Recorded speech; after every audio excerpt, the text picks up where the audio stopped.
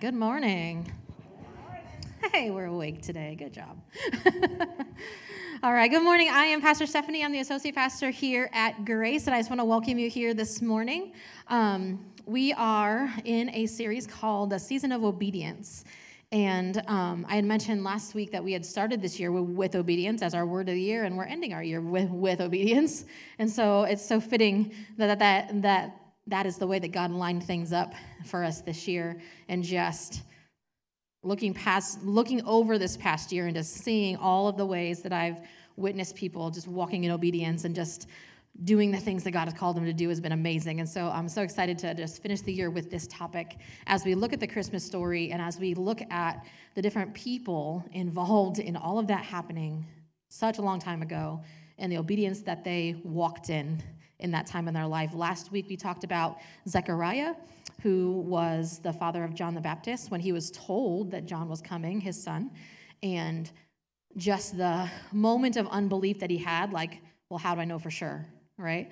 Um, but then his total belief in the things that God, God had called him to by the time that his son was born and just looking at that story.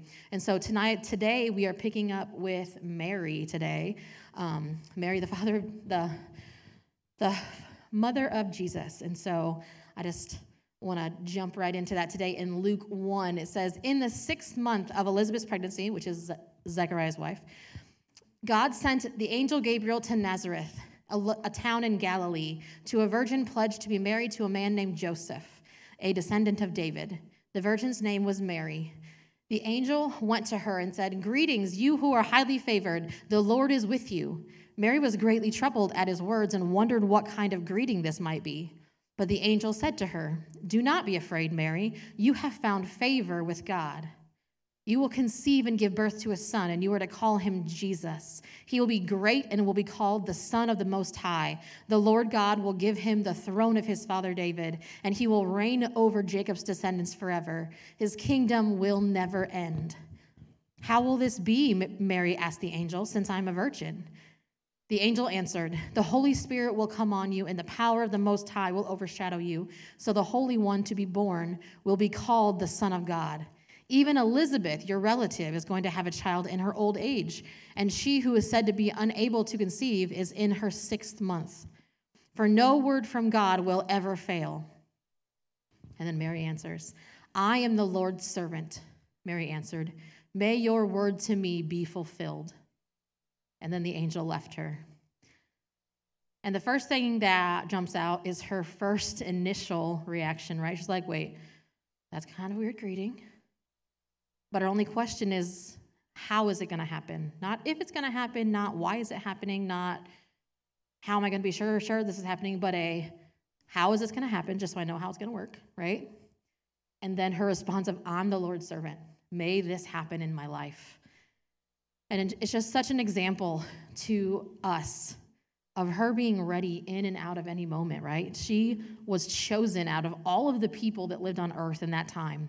She was chosen to be the mother of Jesus. She was chosen to be trusted with Jesus, who left the glory and the honor and the power that he had in heaven to come to earth as a dependent baby and just the magnitude of what that would have been for her because Mary grew up hearing these things. She grew up with the anticipation of the coming Messiah, the anticipation of what God was continuing to do and what he was doing in the earth. And she grew up looking and waiting for the coming of the king that God had told him about. But like, but like Zechariah, it had been 400 years since God had sent someone specifically to be written down in scripture information for the people in the world for anything to happen. So she's like, What is happening? There's an angel right here, right? At first, she's like, I'm not, okay. They're talking to me, okay. It's like, Oh, oh, okay. And so just that moment of like, Yes, I'm in. And then all of the thoughts that I'm sure rushed into her head. How is anyone going to believe this? No one's going to believe me. They're going to think I'm crazy. When I tell them that an angel talked to me, they're going to be like, that hasn't happened for 400 years. Stop making up stories. Just admit the fact that you did wrong, right? they're, they're, they're, they're going to believe all of that stuff, all of the wondering, like, this is going to happen, but if someone reports things to certain people, they could, like, stone me to death, right? The possibilities there. Even though she believed, even in the midst of her belief, all these possibilities had to have just swarmed in her head, right? But our thoughts for this, just from this part of the story, th- the thoughts for us today is that we can be ready for what God brings to us, right? We can be ready when God comes to us with his plan because he has things for each and every one of us, just like he had things for Mary, because he knew that she was the one. And she just had to believe it and walk forward, right? She had to be the one to tell the people around her that this is happening, this is what the angel said, this is what God's doing, and tried to absorb the fact that God picked her out of all the people. And like Mary, we can be ready when God comes to us with his plan. We can be ready in our moment, right? We, we, can be living our life, our everyday life. Mary was just living her life. She was just living out her day when the angel appeared to her. It was just another day for her. Back then, she, she could have been as young as 12, a teenager, right?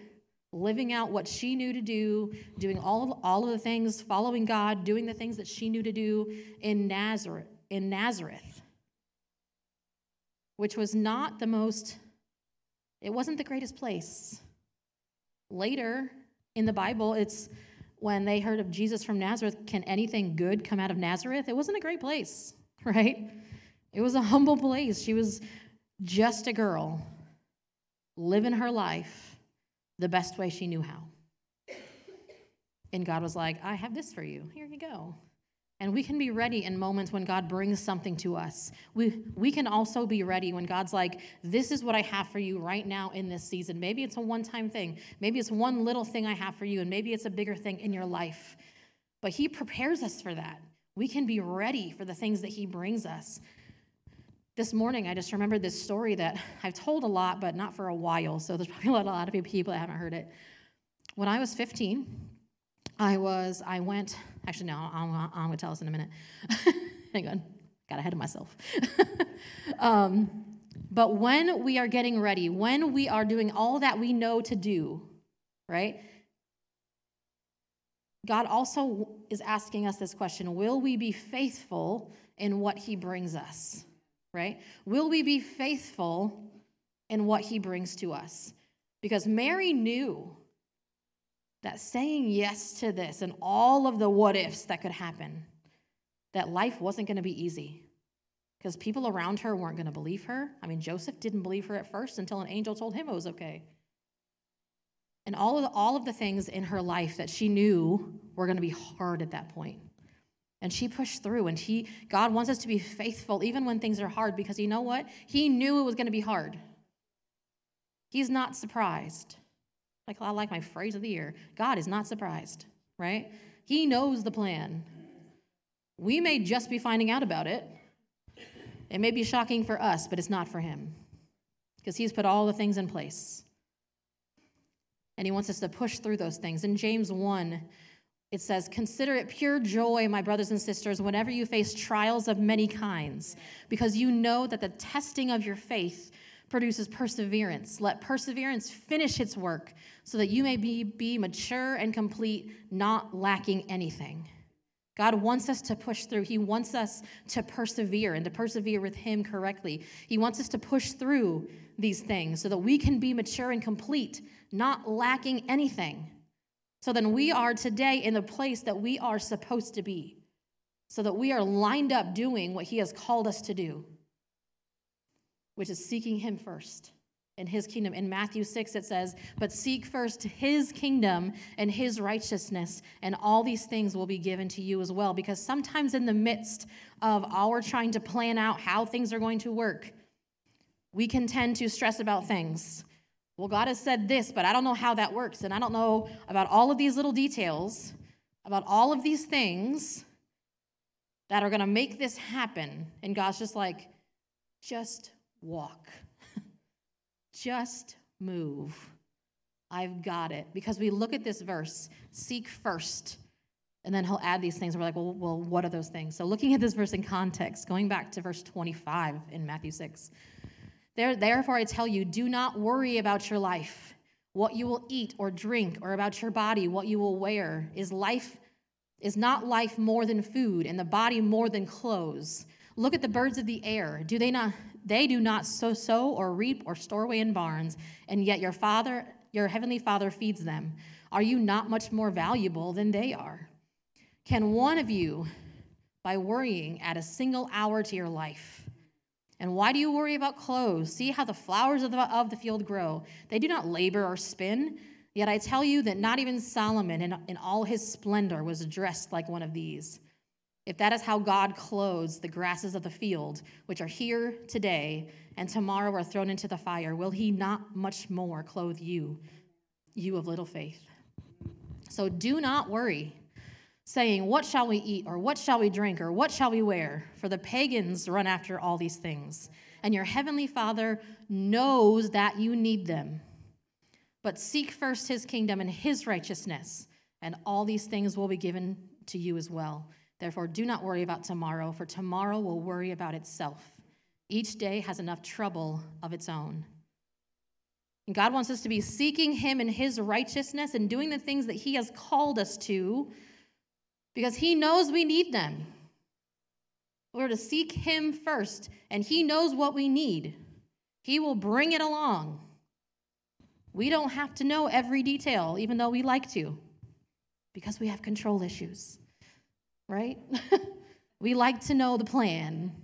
We like to know all the details so we know all the things. And sometimes God doesn't let us know those things. Sometimes He does, sometimes He doesn't. And that's okay.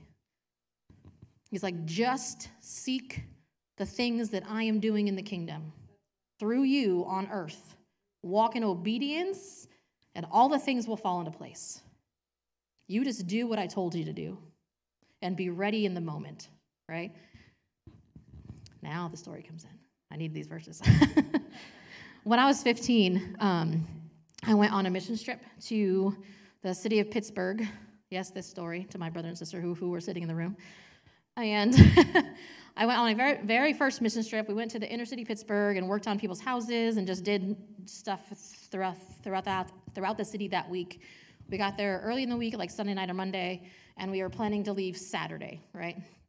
All week that week, the, the evening service was called the club. And so every night after our day of service, right, we would come in for a service and we talked about these verses right here in Matthew. Do not worry, do not worry, do not worry. Seek me first. And all the things will come together, right? For a whole week, that's all I heard about. Was don't worry about it. Seek me, that's all you need, right? So we're at the end of the week, and come Friday, we had our day of service, and we're back at the place, and we're having some free time, I think, because it was like in between like dinner and the evening time, or before dinner. I don't know. I don't remember. Anyway, sometime afterwards. I'm, I'm just hanging with some like new new people that, that I'd met there, and just um, hanging out with my friends that had gone along on the trip too. And my youth pastor and his wife come up to me and like, "Hey, we need to talk to you. Can you come over in this room or office or whatever it was?" And I'm like, okay. I'm like, am I in trouble? I don't think I did anything wrong, right? And so we go in this room and they say, hey, we just got a phone call from a, fam- from a family friend. And your dad has had a massive heart attack. And they don't know if he's going to make it. And they just needed to reach you and let you know that that's going on, right? And of course, in the moment, I'm like 15 going, oh my gosh, my dad, oh my gosh, my dad's gonna die, right? I'm having my like breakdown moment. And then you know what?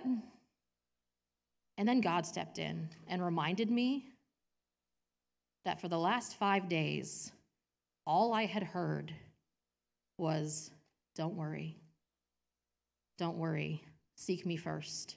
I've got you. It'll all come together, right? For a week. Because God preps us, He gets us ready for the things that He's doing in our life. He gave me five days to marinate on the fact that I didn't need to worry about things in my life, that I just needed to seek Him first. So when my youth pastor and his wife were like, okay, well, everyone just pack up your stuff real quick and we're going to jump in the van and we're going to drive all night and we're going to do all the things, right? But God, uh, God was with me going, it's okay. We were leaving tomorrow morning anyway. Like, we can go to the last service tonight and we can stay and we can leave in the morning. Because God, in that moment, gave me such a peace about A, either my dad was going to be okay, or if he wasn't, that I was going to see him again. And he gave me such a peace in that moment because he had prepped me for a week for that moment.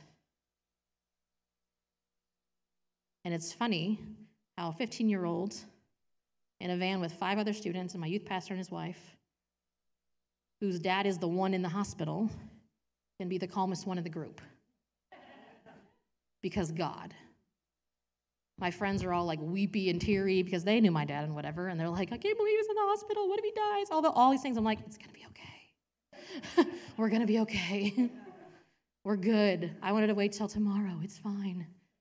I left my shoes behind that I just bought. Whatever. There's such a hurry for no reason. For a reason, but God gave, gave me peace for that reason, right?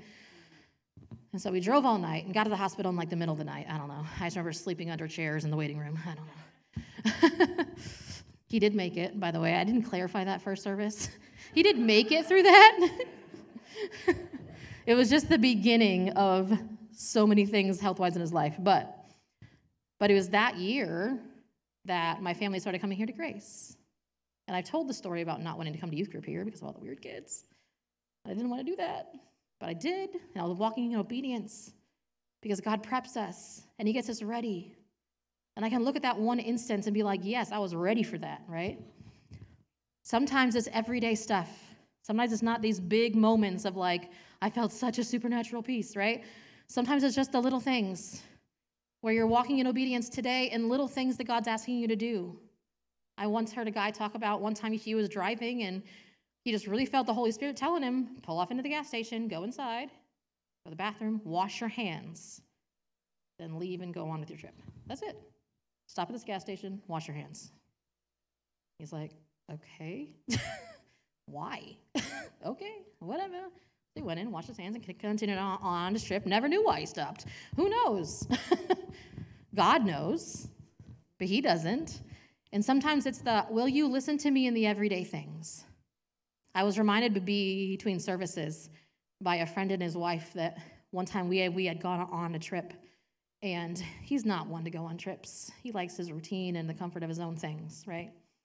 And we were on a trip. We had gone to see some friends in, in Illinois, and we had run to the store for a few things, and it was one of those weird, like, God's like, buy him a Pepsi. Okay, I'll buy him a Pepsi, whatever. I know he drinks Pepsi, so sure. and I brought it back, and to me, it was nothing. To me, it was just a reach in the case, grab a, grab a Pepsi, and cost me three bucks, whatever. You know what I mean? Whatever. But to him, that meant more. He, he, he still remembers it. That was years ago. but sometimes it's, it's the little things and sometimes it's the, will you listen to me in the small things so that I can bring bigger things to you? I am getting you ready. You need to do these things, right? Be this way in the midst of it. Be faithful in the middle of whatever you're going through, pushing through the hard stuff, still being thankful in the good stuff. Because God gets us ready, and He wants us to know Him more in the midst of circumstances and to learn to be content. In Philippians 4, Paul is talking and he says this I rejoiced greatly in the Lord that at last you renewed your concern for me. Indeed, you were concerned, but you had no opportunity to show it. I'm not saying this because I'm in need, for I've learned to be content whatever the circumstances. I know what it is to be in need, and I know what it is to have plenty. I have learned the secret of being content in any and every situation whether well fed or hungry, whether living in plenty or in want, right? And what is that secret? I can do all things through him who gives me strength. Not just strength to make it through hard things. Read this in context. Not just strength, not just a, I'm going through a hard time and plucking this verse out of scripture, going, God's with me and I can do all things through Christ. God's with me, and I can be content in any circumstance I find myself in. Not just the strength to get through it, but content in the midst of it, which is hard. No one said it was easy. Well, if they did, they need to work through some things. And they need to read, and they need to read the Bible more. I tell people, people that all the time. If people tell you that your life just gets magically better, don't believe them. They need to study scripture more. they need to connect with God more. Because we're going to have trouble, right? Tomorrow has enough trouble of its own, which means there's going to be trouble. But He wants us to learn to be content because we're with Him. And with Him, we can get through anything with contentment, not just grit our teeth and work our way through it. But we can be content in where He has us, in the hard, in the good. Yes, I'm content. Life is good right now. I'm going to be thankful that this is where I'm at. I'm going to be content, not waiting for the other shoe to drop, not waiting for what else is going to happen. I can just be content in it.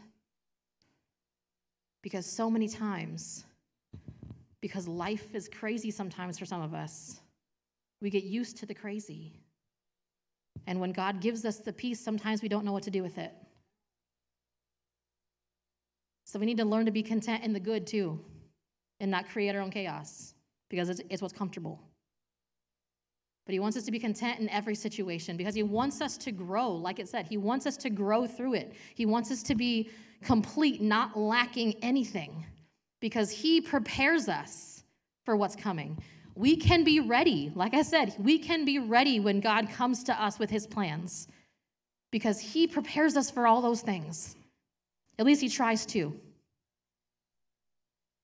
Because sometimes he'll bring me to something and be like, I'm like, I don't know if I can do this. And he's like, Yes, you can. Now, it would have been easier had you done this, this, and this, but we can still get there. Because he will not bring us to something that he does not believe that we can make it through. Because he doesn't do that. He doesn't line us up for failure, he lines us up for his success, for what he wants to do in a situation. Will it turn out exactly perfect the way that we think it should every time? No. But God's the one that has the plan. He's the one that has the blueprint. He's the one that knows exactly how it's supposed to turn out, whether it's according to our version of success or His. Because sometimes He just wants us to do things in, in obedience, not because it's going to go the way we want. And sometimes it's a, I'm bringing you to this, and you're going to get through this because you can and you're going to do it well and you're going to do it with contentment and with patience because that is who I have called you to be and that is inside of you. Because I've prepared you. We can be ready. We can be faithful in what He brings to us. We can be like, yes, I'm going to do this and I'm going to push through what I feel like are obstacles in the middle of this. And you, and you know what? Sometimes we need other people. God calls us to live in community. We need other people around us to encourage us in the fact that this is what I have for you, and them going, okay, God told you this, so you need to do these things, right? I joke with people every once in a while that tell me, well, God wants me to stop drinking soda pop, right? Sorry, I have someone around me that says soda all the time, so now I'm saying soda. God wants you to stop doing this and to be healthier in your life, right? I was like, oh, you shouldn't have told me that. because now I'm going to bug you about it. Because now I'm going to be like, are you supposed to be drinking that? I thought you weren't supposed to be doing that. Is that a thing? Really? Or was that, was that your decision or God's decision? Remind me. Right? Because we need people around us that will encourage us. Even Mary needed that. Even Mary needed that. She's like, okay, the angel told me that even Elizabeth is in a miraculous situation like me. I need to go talk to her. And so we pick up in Luke 1, verse, starting in verse 39. At that time, Mary got ready and hurried to a town in the hill country of Judea, where she entered Zechariah's home and greeted Elizabeth. When Elizabeth heard Mary's greeting, the baby leaped in her womb, and Elizabeth was filled with the Holy Spirit. In a loud voice, she exclaimed, Blessed are you among women, and blessed is the child you will bear. But why am I so favored that the mother of my Lord should come to me? As soon as the sound of your greeting reached my ears, the baby in my womb leaped for joy. Blessed is she who has believed that the Lord would fulfill his promises to her. She hadn't even seen her yet, they hadn't even talked yet. She heard her voice. That's all it took for her to be filled with the Holy Spirit and to say these things. Blessed is she who has believed that the Lord would fulfill his promises to her. To which Mary replied with this. And Mary said, My soul glorifies the Lord, and my spirit rejoices in God my Savior, for he has been mindful of the humble state of his servant. From now on, all generations will call me blessed, for the mighty one has done great things for me. Holy is his name. His mercy extends to those who fear him from generation to generation. He has performed mighty deeds with his arm. He has scattered those who are poor, who, who are proud in their inmost thoughts. He has brought down rulers from their thrones, but has lifted up the humble. He has filled the hungry with good things, but has sent the rich away empty. He has helped his servant, Israel, remembering to be merciful to Abraham and his descendants forever just as he promised our ancestors. And Mary stayed with Elizabeth for about three months and then returned home she had some conversations to have, right? but, but even Mary needed to go talk to someone that may have any inkling about what she was going through. And even before she saw her face, Elizabeth confirmed everything that God had told Mary before they even talked. And sometimes we need those people in our life to be like, Yes, you heard that. And this is what you're doing. And that's awesome, or that's going to be challenging. And I'm going to be here with you to encourage you to stay obedient in it. Or that's amazing, and I'm going to strengthen you and I'm going to help equip you because I'm in your life for a purpose to help you grow in these things. Because we have people that encourage us in, in our life, in what God's doing in our life. But we need to find them. And we need to be that person for the people around us. Not the person just being like, well, it's just this one time. I know God told you not, not, to do that, but it's just this one occasion, right? No. We just need to find them because so many times I hear stories of people walking with God and they are walking with people and people don't handle them right. They're like, this is what I'm doing, and they either discount it or don't believe it or a multitude of things, right? Because we're human beings. And sometimes we can be jerks. And sometimes we can be disobedient ourselves. And sometimes we all sin and we all make mistakes, and sometimes it happens. But that should not stop you. God does not want one person's, your, your experience with one person or multiple people to shut you down, to keep you stuck, to keep you whatever. You may need to go through some people like, oh, not, apparently they're not it. Okay. Back up a little bit protect our heart. So supposed to guard our hearts, right? Not close them, guard them. And go to the next person. This is what God has said, and I need some encouragement in it. Okay, good. You, you believe me. You know this is right. Great.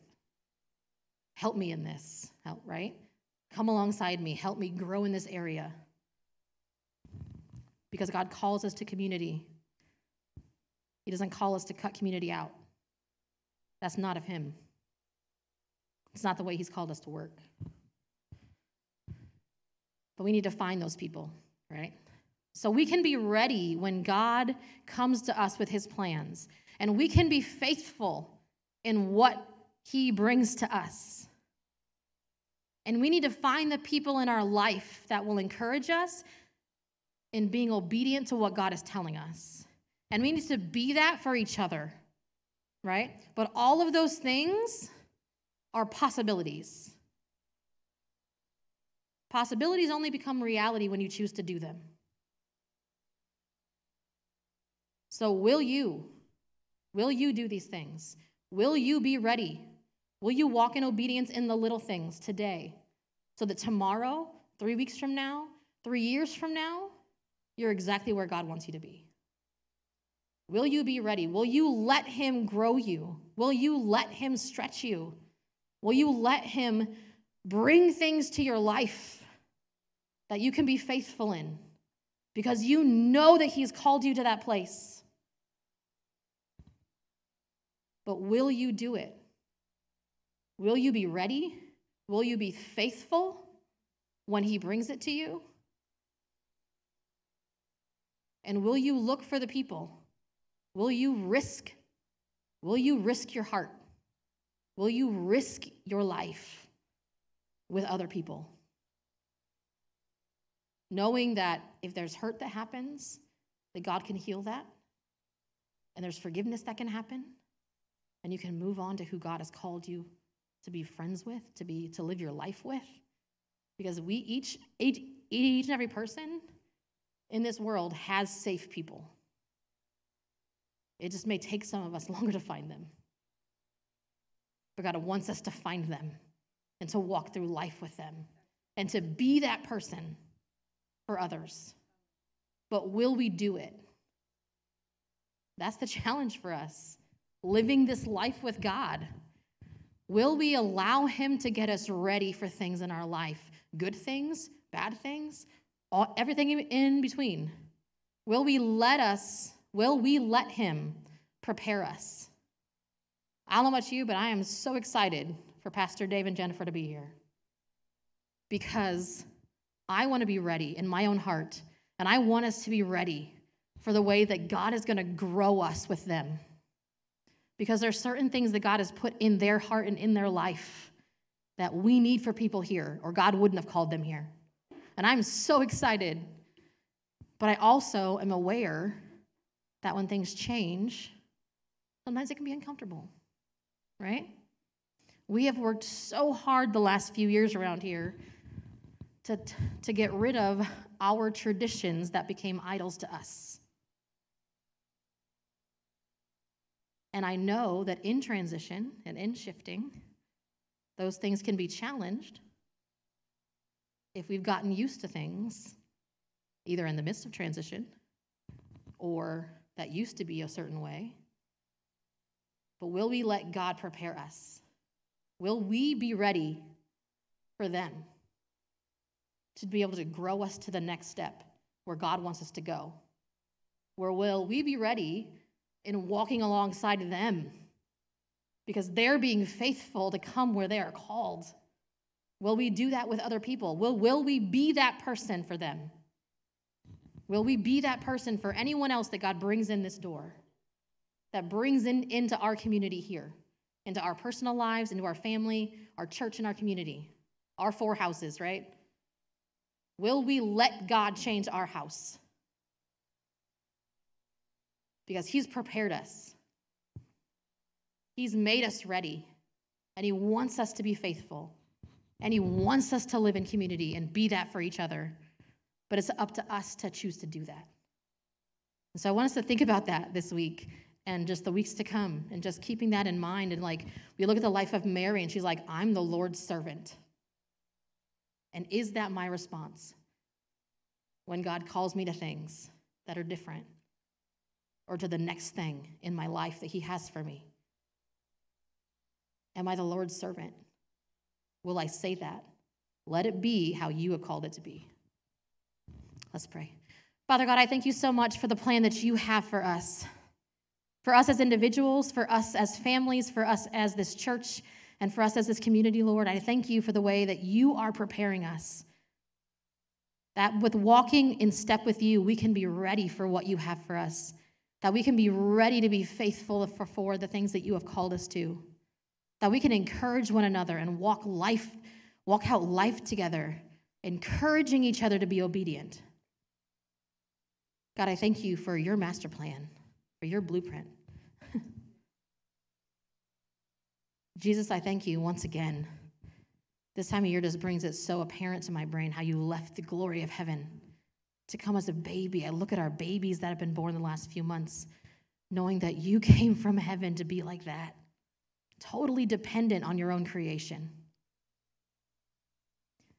Holy Spirit, that we would be listening for your voice, that we would be listening for the ways that you are preparing us, that, that you are telling us the deep things of God that matter in the coming days, weeks, years. That we would continue to listen, that you would reopen when needed our eyes and our ears and our hearts to the way that you are walking, that we would walk in obedience to what you're doing in our life.